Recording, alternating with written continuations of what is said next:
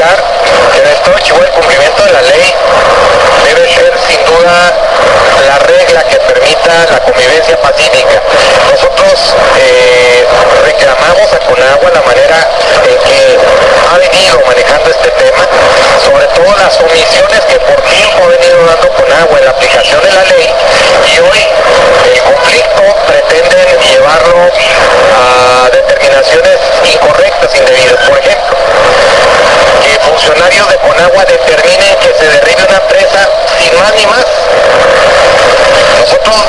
desconocemos que las facultades las tiene esta institución, nada más que la ley que regula la construcción de este tipo de infraestructura fue posterior a la construcción de esa presa y ninguna ley puede ser retroactiva.